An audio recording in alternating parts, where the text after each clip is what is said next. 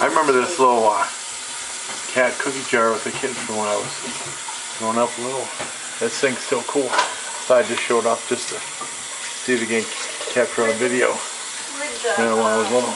Awesome. bag with. I think Ron took it out, Mom.